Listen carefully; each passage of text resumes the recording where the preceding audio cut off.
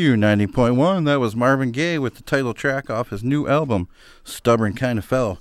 Hey, I'm the big boss man Joe Pro from the Racks and the Stacks at WUCX 90.1. Happy Monday morning to you, Saginaw. It's cold and rainy out there, folks, so let's let me warm you up with the best on wax. You can hit me up at 877 472 7677 and let me know what you want to hear. Again, that's 877 472 7677. Got some really good music coming up from Greta Van Fleet, but first we have to hear from the sponsors. So, hey, don't forget about the UCX live broadcast from Woody's Drive-In this Friday night.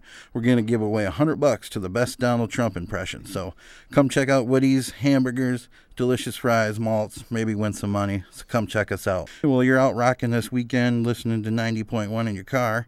Don't forget to make a quick stop by the local Benevolent Order of Antelopes Hall for a steak dinner, 50 50 raffle, and some bingo.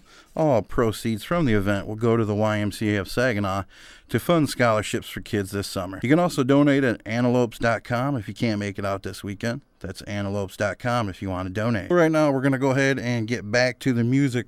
This is Evanescence, Weight of the World on 90.1.